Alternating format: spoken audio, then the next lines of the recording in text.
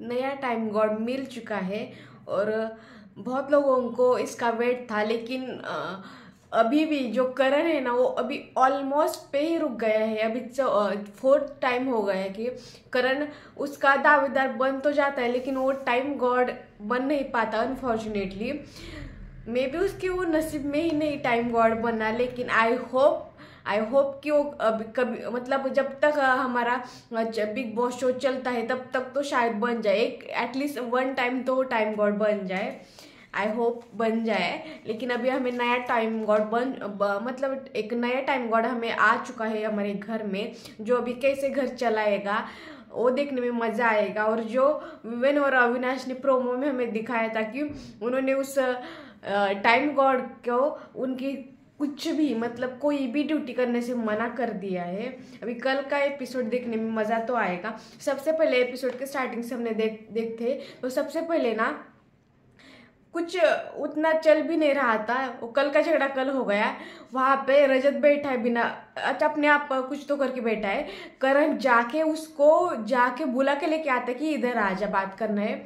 और बात शुरुआती उसने जो जिस वे में मतलब वो इनडायरेक्टली धमकी दे रहा था रजत को, मैं रजत को बिल्कुल भी सपोर्ट नहीं कर रही हूँ, या उसके जो भी वो चीज़ें करते हैं ना, बाहर आके मिल, बाहर आके मिल, ये सारी चीज़ें करते हैं ना उसके तो मैं खिलाफ ही हूँ।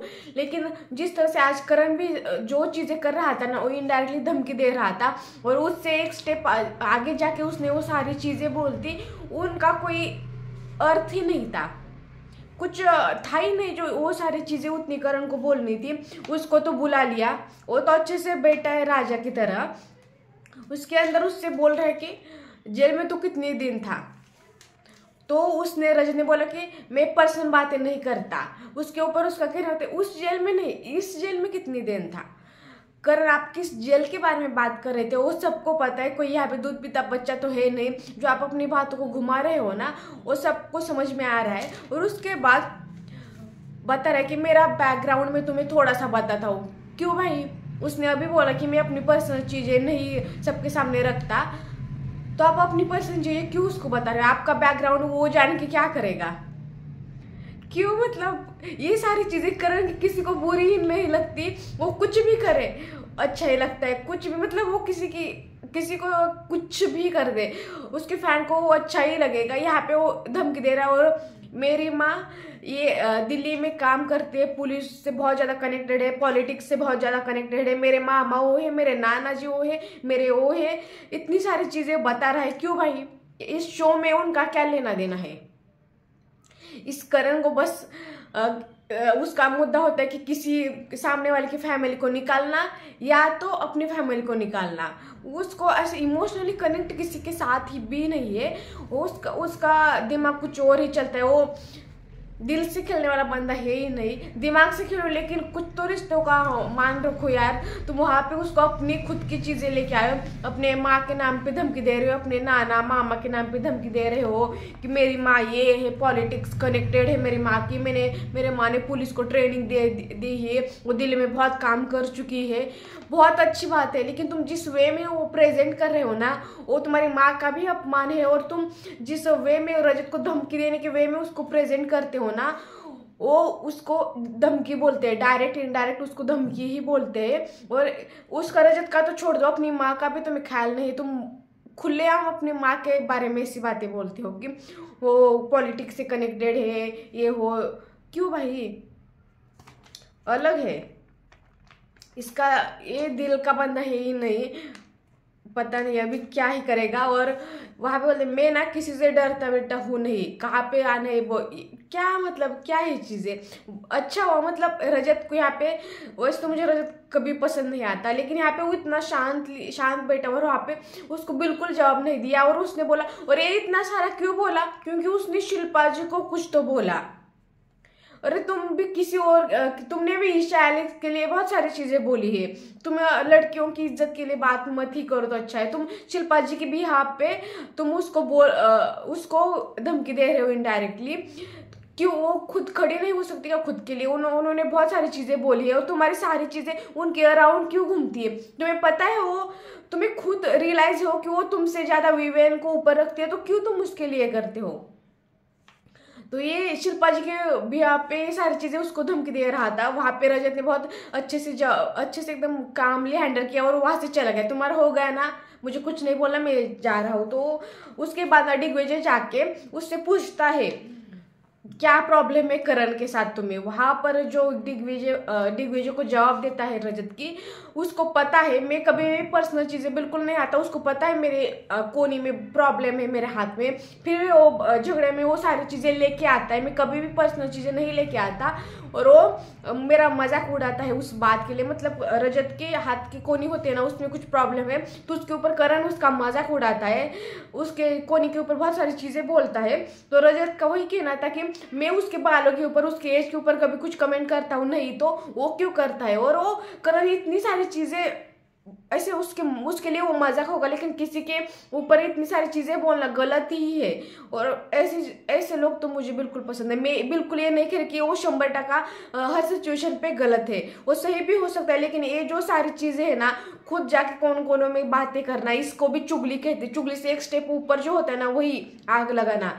यही करते, वो चार लोग तो बहुत लोग उनको चुगली गैंग चुगली गैंग बोलते हैं। लेकिन ये जो करता है ना, वो चुगली से एक स्टेप आगे होता है, जो किसी को भी नहीं दिखता। तो इसलिए मुझे तो कर्ण बिल्कुल पसंद नहीं आता। और वहाँ पे रजत ने भी बहुत सारी चीज़ें उसको बोल दी कि वो हर वक्त मुझे बोलता है कि तेरी फाटती है क्या? मैं अभी एक नंबर घुमाऊँगा तो ये करूँगा, वो करूँगा। वहाँ पे भी उसने जो धमकी दी ना वो भी गलत थी, वो भी गलत थी। यहाँ पे आप बाहर, आप कुछ भी होंगे, लेकिन अंदर यहाँ पे आप गेम शो में आए हो, आप कुछ कॉन्ट्रैक्ट लिख के आए हो साइन करके आए हो, आपको उसका मर्यादा तो रखनी चाहिए और किसी को धमकी देना है, इससे कुछ जाए से बात इन दोनों में फ़र्क बस इतना है, करण इनडायरेक्टली धमकी देता है और जो रजत है वो डायरेक्टली धमकी देता है। तो इन दोनों में बस इतना सा फ़र्क है, वरना है तो दोनों भी, दोनों ही यहाँ पे गलत थे, लेकिन जो स्टार्टिंग की ना, करण ने स्टार्टिंग की तो उसके बाद ना टाइम गॉड का टास्क था, वहाँ पे ना एक जो पाँच दावे था, उनको स्विमिंग पूल के वहाँ पे खड़ा किया था। उसके बाद ना, उनको जो बाकी कंटेस्टेंट ना, उनको भाग के जाना था और भाग के जाके वहाँ पे जो भी फ़र्स्ट पहुँचेगा ना, उसके ऊपर था कि किसको ढकलना है और किसको रखना है। तो ये सारी चीज़ें भागने की चीज़ थी। उसके बाद ना वहाँ पे वो चार क्यू कार्ड रखे थे। उसके ऊपर कुछ सेंटेंस, स्टेटमेंट थे। उसके ऊपर आर्ग्यूमेंट करना था बजर बजने तक। जो फ़र्स्ट राउंड चालू होता है, फ़र्स्ट राउंड में विवेन वहाँ पे पहुँचता है। और वहाँ पे फ़र्स्ट राउंड में ना विवे, विवेन जब जाता है ना, तब तब उसका जो सेंटे, उनका जो विषय होता है ना रिश्त से भागने वाला करण।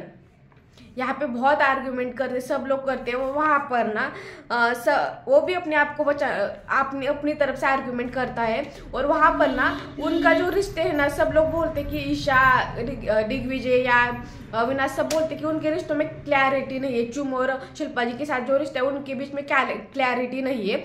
और उसके बाद ना वहाँ पे करण बोलता है हमारे रिश्ते में ना बहुत क्लैरिटी है। और वहाँ पे बोलता है कि उनसे पूछता है, शिल्पा जो चुम से बोलता है कि अगर मैं चाहूँ तो तुम मुझे ट्रॉफी देना है तो तुम मुझे ट्रॉफी दोगे क्या? और वो भी हाँ दूँगी। मतलब वहाँ पे दिग्विजय जो बोलते हैं, बिल्कुल सही बोलता है कि शिल्पा जी को एक्सपोज करता है कि आप जो डिप्लोमेसी कर रहे हो ना, वो दिख क्या आ रहा है क्योंकि एक तरफ़ आप उसको नॉमिनेट करते हो और दूसरी तरफ़ बोलते हो कि ट्रॉफी दूँगा। पहले तो चुम और शिल्पा जी को शो से निकालो। आप यहाँ पे जीतने के लिए आए हो। अगर आपको ट्रॉफी चाहिए नहीं आप क्यों हो वहाँ पे? आप जाओ बाहर क्यों? बाकी आपके जगह कोई दो और अच्छे कंटेस्टेंट आएँगे जिनको ट्रॉफी जीतने की आशा हो तो वहाँ पर एज अ प्लेयर आप फेल हो चुके हो। और जो चीज़ें आप बोल रहे थे ना कि मुझे ट्रॉफी नहीं चाहिए और करण को दे दो प्लीज़ आप करण के, करण को ट्रॉफी दे दो और इनको बाहर निकालो, क्योंकि ये कोई स्टैंड नहीं होता। तो उसके बाद ना बग्गा जो बोल पड़े हैं ना बाप रे बग्गा जी को अरफिन जी जब से गए बग्गा जी तो पूरे बोल पड़े। उसके बाद ना बग्गा जी भी बहुत अच्छे से बोला कि दोस्त, अपने दोस्त को जोड़ने के लिए होता है, आग लगाने के लिए नहीं। जो चुम और श्रुतिका के बीच में करण ने आग लगाई थी ना, उसके ऊपर बग्गा जी ने जो करण को बोला ना, एक नंबर था। एकदम जो बात बग्गा जी ने बोली ना एक ना एक बात सही थी कि दोस्त दोस्ती को जोड़ने के लिए होता है, तोड़ने के लिए नहीं, अपनी इनसिक्योरिटी की वजह से आप उसको तोड़ रहे हो, उसमें आग लगा रहे हो। उसने तो अपने दोस्तों को भी नहीं छोड़ा तिल्ली लगाने के लिए तो बाकी तो बहुत दूर की बात है। तो उसी तरह फ़र्स्ट राउंड में ना वहाँ पे फिर ये दो, इनका हो गया, उसके बाद डिग्विजय का। डिग्विजय का इतना कन्फ्यूज़न इतना कन्फ्यूज़न उसको कुछ समझ में तो आता है नहीं। क्या मतलब? फिफ्टी परसेंट ईशा से बोल रहा था कि हाँ मैं उसको मानता हूँ। उसके बाद फिफ्टी फिफ्टी परसेंट कर रहा था। मतलब ये भी न्यूट्रल रहने की कोशिश कर रहा है। जो डिग्विजय है वो न्यूट्रल रहने की कोशिश कर रहा है। और यहाँ पे करने होता है डिग्विजय से पूछो बहुत ही कॉन्फिडेंस में पूछ रहा है कि डिग्विजय से पूछो, मेरा क्लियरिटी बहुत होती है हमारे रिश्तों में। और डिग्विजय उसकी विरोध बोल बोल रहा है। तब बिग बिग बॉस ना उसको टॉन्ट मारते उसके बाद ना वो बोलता है आप उसके पक्ष में हो या विपक्ष में हो, आपके कोर्स में सिखाया नहीं जाता क्या? ग्रुप डिस्कशन ये सारी चीज़ें जब बोलते हैं ना बिग बॉस तभी उसको समझ में आता है, फिर बोलता है कि विपक्ष में हो, फिर भी करण की भी साइड लेता है, फिर उसके बाद उसको ही अपोज करता है। इतना कन्फ्यूज़ क्रिएट कर रहा था ना तो फ़र्स्ट राउंड में विवेन करण को धक्का देता है और ऑलमोस्ट टाइम गॉड की टैग उसको ही मिलता है। तो फ़र्स्ट राउंड में ये हो जाता है। तो उसके बाद सेकेंड राउंड चालू होता है। तो सेकेंड राउंड में चुम जो भाग के जाने होता है, वहाँ पे चुम जीतती हो। और उनका जो विषय होता है ना, वो होता है कि रजत बने दिग्विजय के टाइम गॉड ये करेक्ट है। ये इतने दिन तक तो रजत जो दिग्विजय है ना वो रजत जो बोलेगा वो कर रहा था लेकिन अभी थोड़ा थोड़ा सा मुझे डिफरेंट लग रहा है। आ, नहीं तो अदरवाइज़ जो रजत बोलेगा वही वो कर रहा था। और वहाँ पे आर्ग्यूमेंट वो उतनी आर्ग्यूमेंट नहीं हुई लेकिन वहाँ पे दिग्विजय का एक सेंटेंस था कि इस घर में मेरा भाई बनने के लायक कोई भी नहीं है और वहाँ पे डिग्विजय वो रजत कुछ और ही बोल रहा है। मतलब वो कुछ और ही क्लियर करने की कोशिश कर रहा था। उसको बुरा तो लगा कि यहाँ पे उसने क्लियरली बोला कि कोई मेरे भाई बहन के लायक नहीं है, कोई रजत वजत मेरा भाई है नहीं। उसके बाद जो रजत ने क्वेश्चन पूछा ना, उसके ऊपर बोला हाँ तू बस मेरा भाई है। उसके लिए डिग्विजय अभी तो उसकी प्रायोरिटी उसने क्लियर की, बस श्रुति का है, ऐसा उसने बोला। उसके बाद सेकेंड राउंड होता है ना, चुम, ईशा को ढकेल देती है उसके अंदर, और वहाँ पे उसका रीजन कुछ अलग ही होता है। और उसके वो करण मतलब उसको गुस्सा है, क्योंकि अभी वो करण से इतनी अटैच हो रही है ना तो अभी क्या ही बोलेंगे। ठीक है, सबका एक प्रायोरिटीज होती है तो उसमें कुछ है नहीं। थर्ड राउंड चालू होता है तो थर्ड राउंड में ना थर्ड राउंड से पहले ना